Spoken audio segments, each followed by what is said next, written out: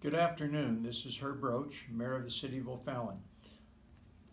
This week is Fire Prevention Week, and we gave a proclamation last Monday to our fire department in honoring them and honoring all the firemen across our country. Just like the police believe uh, you should lock it and pocket your keys to protect what's in there, one of the strong suits at our fire department says an ounce of prevention is worth a pound of fire prevention.